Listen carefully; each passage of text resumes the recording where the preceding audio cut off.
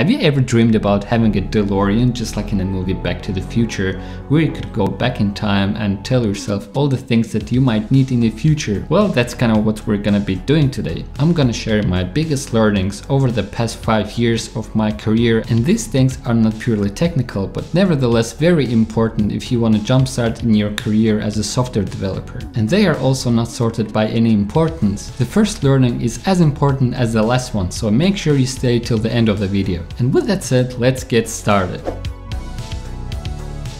If you are at the very beginning of your career, you probably have already googled things like a day in a life of a software developer or what is it like to be a software developer? And you probably found some videos on YouTube where they portray a very relaxed lifestyle, people making six figures and are almost financially independent. Well, unfortunately that's not completely true, but things that I'm going to mention in a minute can in a way help you reach that success as a software developer in a shorter time span. And with that said, here's the first learning. Degree.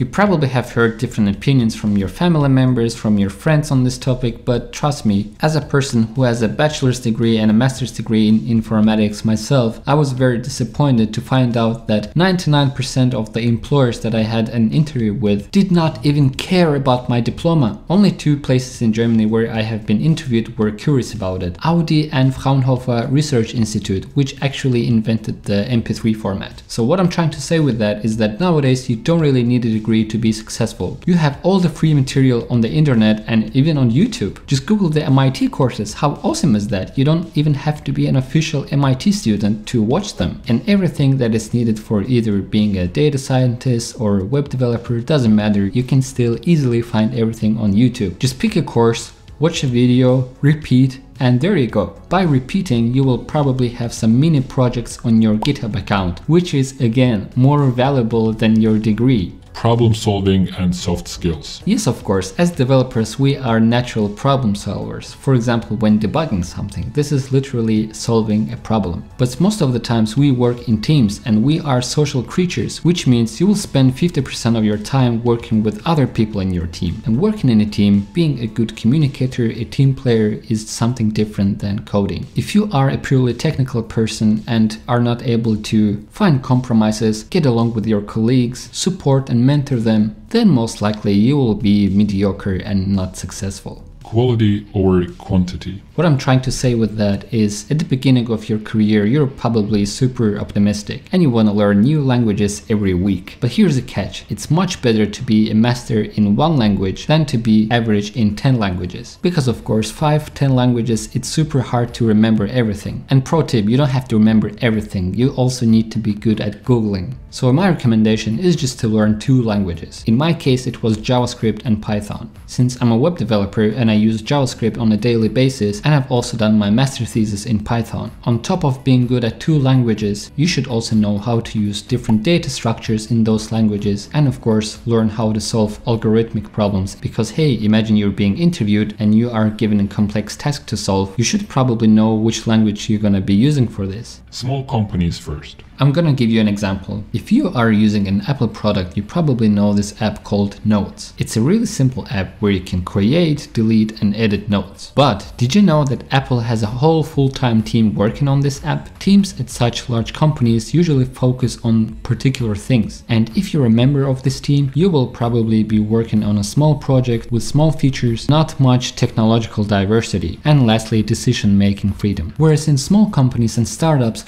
you are literally responsible for everything. Sometimes even marketing, even if you're a software developer. Yes, this might sound funny, but your contribution in small companies is huge. Whereas in large companies, your contribution is just a fraction. Therefore, your growth is also bigger in small companies since you're covering so much. If you're a backend developer and there are not enough people to do the front end, you might still take over the front end. And as you progress in your career, trust me, all these things that you have learned in small companies will come in handy. This is why a lot of people leave leave large companies and start their own businesses because in a way they kind of miss this feeling of big responsibilities. Your mental health. 5 years as a software developer and probably the most important thing that I learned is that you need to take care of your health. Please, please pay a lot of attention to this from early on, and maybe someday in the future you will thank yourself. People simply don't pay enough attention to their health in our industry. Unless you have a standing desk, you will most probably be sitting in one place and coding